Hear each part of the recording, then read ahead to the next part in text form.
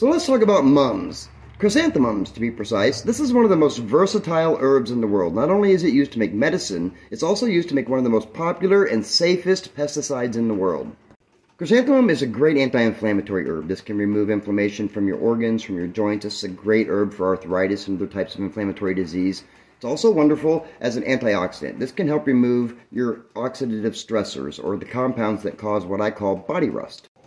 In many parts of the world, chrysanthemum is used as a great eye herb. This can help improve overall eye health. In fact, it's even used to help treat glaucoma, macular degeneration, and even cataracts. It's also a lung herb. It's a brachial dilator, which means it can dilate your brachial tubes in your lungs to help to improve your breathing. And it's a gentle decongestant, so it can even help remove some phlegm too.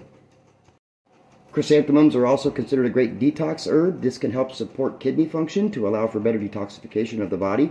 And it's considered an overall cooling herb.